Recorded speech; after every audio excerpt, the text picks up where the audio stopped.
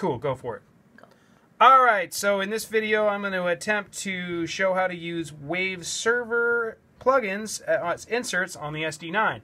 So I got a mix going, it's looping around, and I've got the the the, the, con the concert, yeah right, the um, setup, the console set up in horizontal mode. So I'm gonna bring up my lead vocal over here on 18.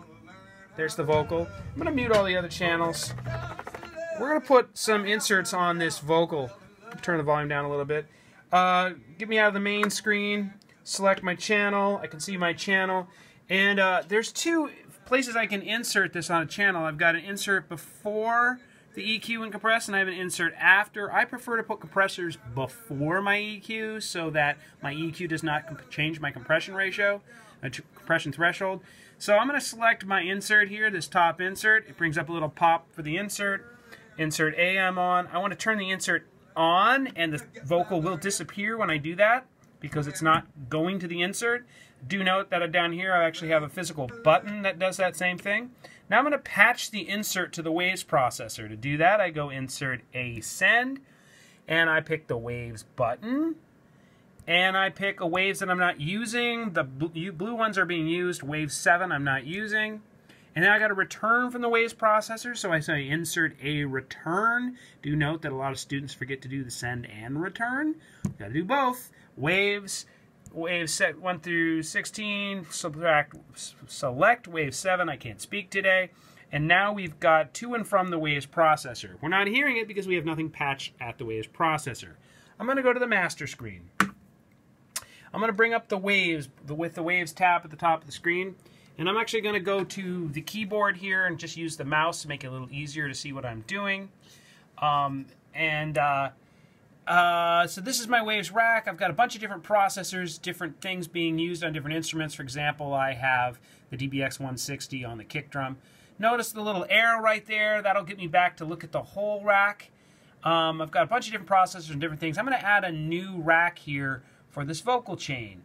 Probably could name it and all that. I haven't learned how to do that yet. But uh, click Add to Rack and Mono because it's just a vocal. One. Okay.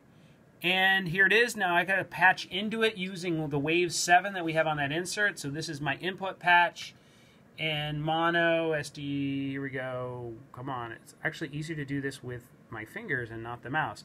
Wave 7 and it automatically patched the output over here. I wonder if we can name this. Oh, yes. But now, of course, I can't see anything on the keyboard, but I could name it vocal channel if I wanted to. Anyway, let's put a compressor on this. I'm going to turn the volume down. I'm going to put a compressor on this. Lots of good choices here.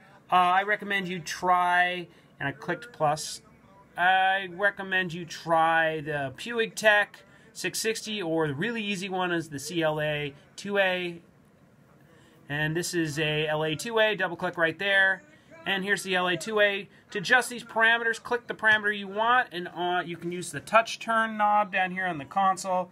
So I'm going to tweak the, uh, raise the, lower the threshold here, get a little bit more level, little gain reduction.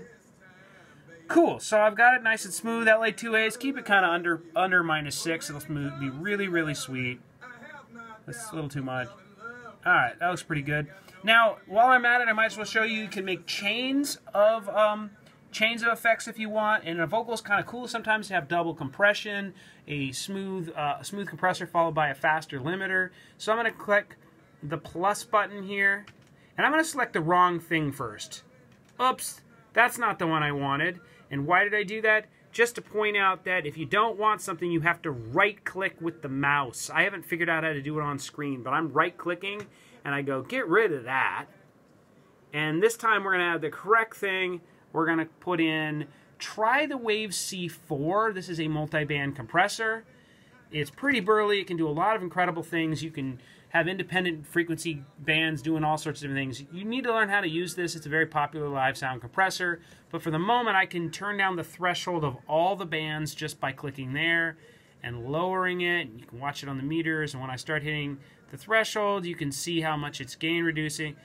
It's doing its thing. You're going to want to learn how to play with this. But basically, we've got an LA2A followed by C4, and we know that this is working because we already set up that send and return. There you go. That's the video.